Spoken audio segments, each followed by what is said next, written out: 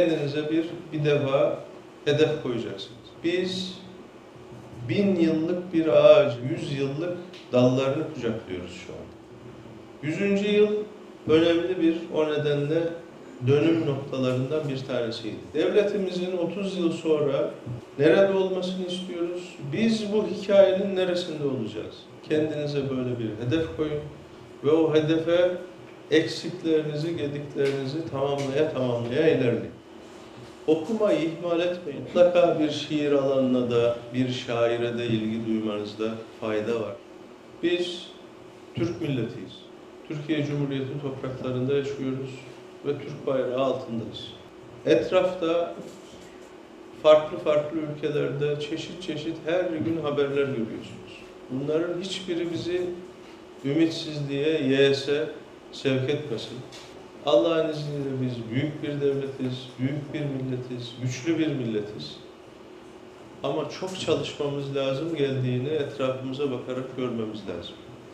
Her birimizin kendi yaptığımız işi hakkını vererek ciddiyetle ve dikkatle yapması lazım ki devletimizi, milletimizi geleceğe taşıyabilelim. Valilik müessesesi bizim iki elimiz var. Birisi sıkılı yumruk, bir tanesi de şefkat elidir. Sokakları terörize edenlere karşı, zehir tacirlerine karşı, suçluya, arsıza, ahlaksıza karşı devlet, vali sıkılı yumruktur. Ama vatandaşına karşı, garip kurabaya karşı, milletine karşı, vatandaşına karşı da e, şefkat elidir. Her ikisinin dengesini koruyabilmek lazım.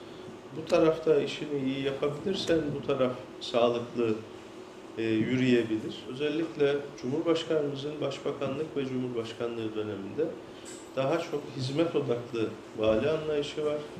Vatandaşın ayağına hizmeti götüren vali anlayışı var ve ulaşılabilir vali anlayışı var. Herkes de tavrını, tarzını buna göre belirliyor. Bir defa çok mutluyum, çok memnunum. Onu evvela her şeyden önce söylemek isterim. Bu bir güven ifadesidir, bu bir güvenin de tezahürüdür. Tekrar gelip buraya vali olarak çalışabilmek. Hemşerilerimizle iyi bir diyalog, iyi bir uyum sağladığımız kanaatindeyim.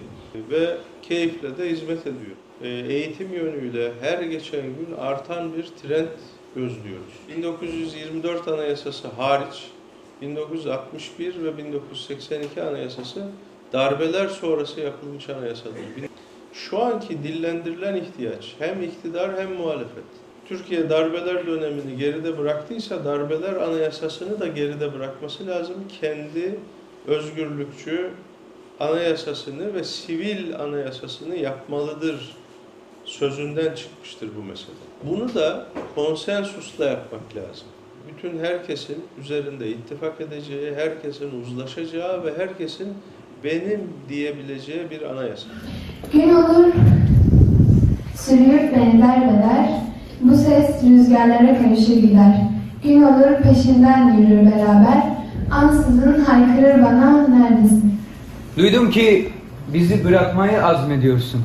Etme. Başka bir yer, başka bir dosta meylediyorsun.